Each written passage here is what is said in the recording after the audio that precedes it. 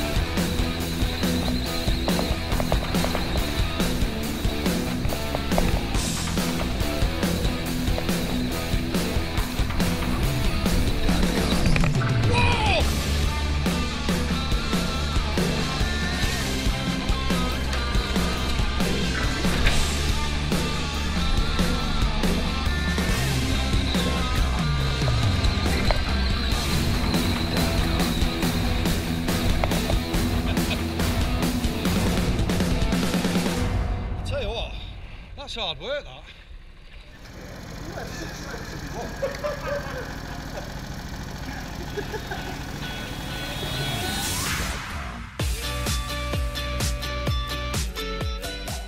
Well, we certainly do things properly here with the Snods and Diamond Challenge. The podium, as you can see, is ready.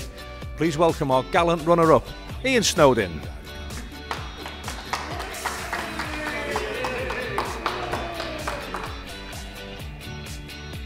Thank you. It was a gallant effort from Snods, who was always the underdog, to be fair, in this particular challenge. Our winner at the Indoor Super Karting Centre in Burscough is Graham Stuart.